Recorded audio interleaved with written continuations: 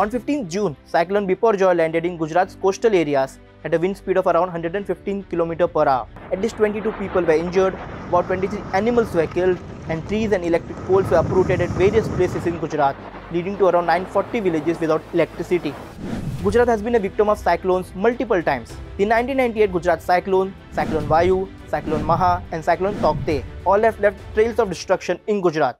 But there is one interesting thing to note. All these cyclones have never affected Mumbai. As we all know, Mumbai is a coastal city and it is located close to the state of Gujarat, but it hardly gets any cyclones.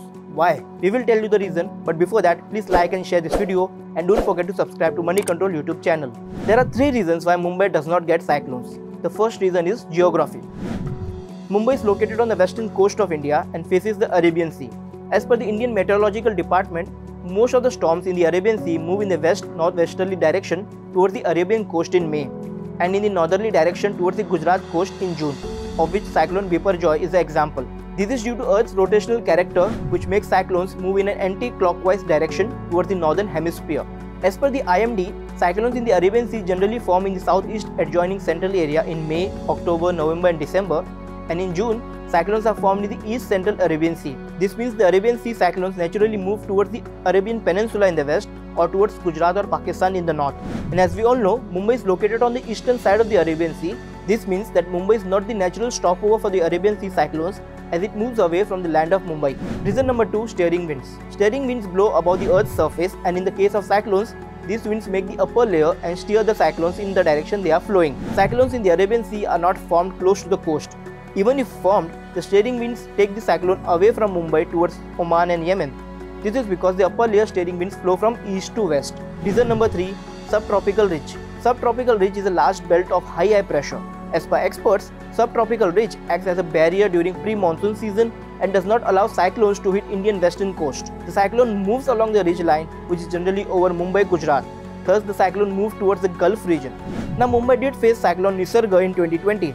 Why was that? Experts say it is due to changes in wind patterns and rising sea surface temperatures in the Arabian Sea, largely attributed to global warming. Although Mumbai is protected against cyclones for multiple reasons, researchers have warned that a massive cyclone could hit the city in the future due to climate change.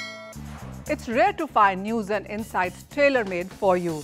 For clutter-free content and value-added insights, India's number one financial news destination, Money Control brings you Money Control Pro, an ad-free premium service that offers its subscribers curated market data, feasible investment solutions, exclusive noise-free information, independent equity analysis and sharp opinion.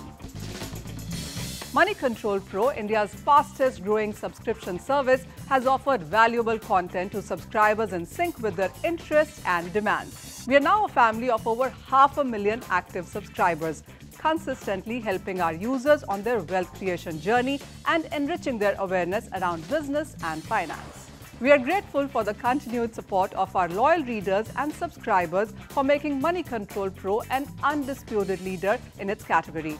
And if you are yet to experience the rich offerings, subscribe today for a seamless, uninterrupted access to a gamut of business and financial information.